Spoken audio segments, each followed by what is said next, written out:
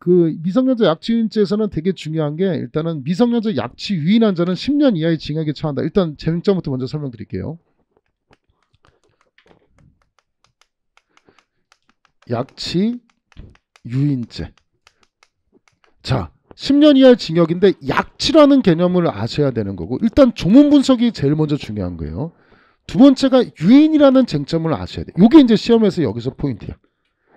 약취에서 쟁점이 이렇게 이렇게, 이렇게 끌고 가는 거야. 야, 일로 와, 따라와. 이제 끌고 가는 거야. 야, 우리 껌 팔러 가자. 그래서 어린애 꼬셔가지고 데리고 가는 거 있잖아. 이게 약취인데 포인트가 뭐냐면 다음 페이지 넘겨서 보시면 289쪽의 첫 번째 판례 별표 치시고 요게 이제 약취에 대한 개념인데 저기 경상도 쪽에서 아저씨가 막 유치 어, 그 놀이터 같은 데 가서 초등학생들한테 장난감 총 주고 여자애들 인형 주면서 꼬셔가지고 데리고 가가지고 강간하고 그랬어요. 그게 이제 소문이 막 돌았어요. 그죠? 그러면 여러분이 부모면 절대로 누군가 뭐 준다고 쫓아가면 돼요, 안 돼요? 안 된다고 계속 교육을 하죠. 자, 버스 정류장에서 초등학교 5학년인가 6학년짜리 있는데 어떤 술 취한 아저씨가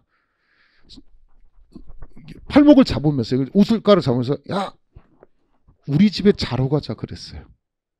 초등학교 5학년짜리한테. 그러니까 깜짝 놀라지. 손을 막 부리치고 뭐 하는 거예요? 이제 갔어요. 그리고 이제 집에 와서 엄마 아빠 있잖아. 아침에 나 학교 가는데 버스 타는데 어떤 술 취한 새끼가 내 팔목을 잡으면서 우리 집에 자러 가자 그랬대. 어떨 것 같아? 어? 어떨 것 같아? 어, 어떨 것 같아? 딸내미가 엄마 나 큰일 날 뻔했다. 어떤 아저씨가 술 취한 아저씨가 나 이렇게 잡아당기면서 우리 집에 자러 가자 그랬다. 내가 싫다고 탁 붙이고 갔다. 어떤 아저씨가 깨우셔 하면서 욕을 했다. 어때요? 어 무섭죠? 무섭죠?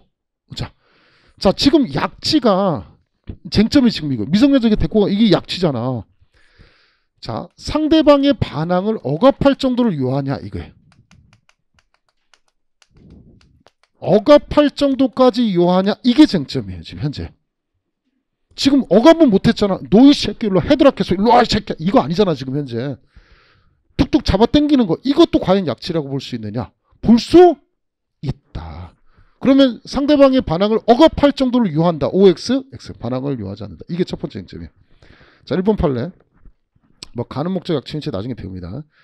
약치라는 행위가 뭐냐? 피해자를 의사에 반하여 자유로운 생활관계 또는 보호관계로부터 범인이나 제3자의 사실상의 지배하에 옮기는 것, 끌어서 땡기는 것을 말하는다.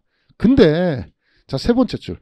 반드시 상대방의 반항을 억압할 정도로 요한다, 요하지 않는다? 요하지 않는다. 이게 쟁점이야. 그럼 시험 문제 뭐라고 소개했어요? 상대방의 반항을 억압할 것을 요한다. OX, X. 자, 두 번째 쟁점. 이번에는 미성년자 약치 유인. 보통은 약치 유인은 붙어서 붙여서 같이 얘기합니다. 유인, 유인은 꼬시는 거잖아.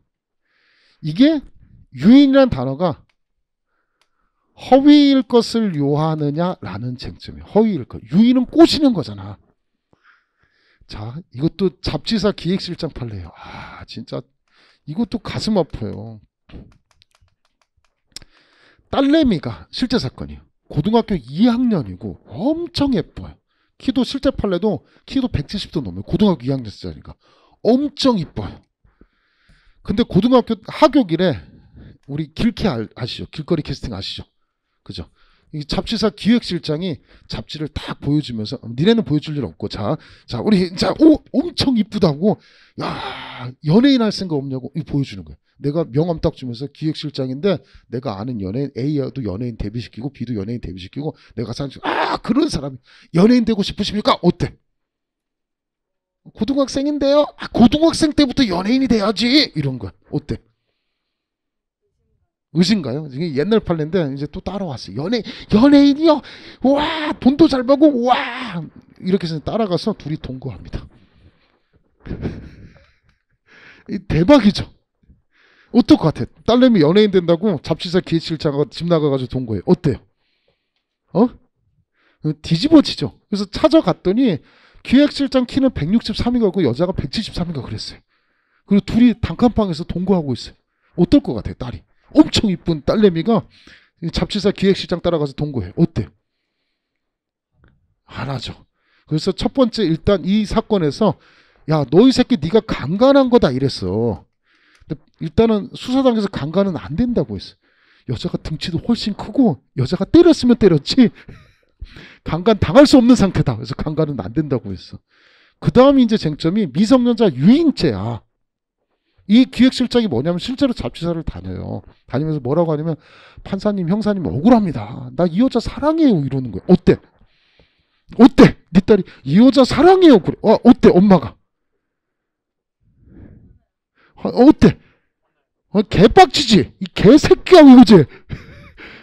이 여자 진심으로 사랑합니다. 어때? 연예인 만들어 드리려고 연예인 만들어줘서 어머니 막 이래. 어때? 나이도 12살인가 차이 납니다. 개빡치죠. 그죠? 지금 이거야. 자기는 진심이었다는 거야. 연예인 만들어줄 것이 진짜로 연예인 만들고 싶고 사진 찍고 계속해서 자기는 얘를 연예인 만들기 위해서 굉장히 노력하다. 그러다 보니까 사랑에 빠졌다. 이거예요. 우리 딸의 의사를 존중한다. 기획실장님 사랑할 수 있다. 개빡치겠죠. 그죠? 어, 이게 말도 못하죠. 자, 이게 허울 것을 요하냐는 거야. 허울 것을 요한다, 요하지 않는다? 요하지 않는다. 너가 진심이었다 하더라도 미성년자를 꼬셔서 데리고 가면 된다, 안 된다? 안 된다. 너를 뭐로 처벌하겠다? 미성년자 유인죄로 처벌하겠다. 그럼 시험 문제 또 뭐라고 나오겠어요? 미성년자 약취 유인죄에서 유인은 반드시 허위일 것을 요한다. OX, X. 이 쟁점이에요.